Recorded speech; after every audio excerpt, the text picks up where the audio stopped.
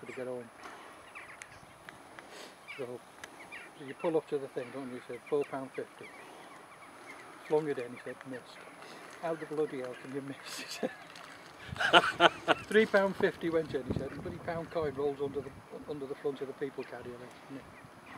But I can't open the bloody door to get out. back too close. I can't go back because there's people behind me. I can't go forward because there's bloody.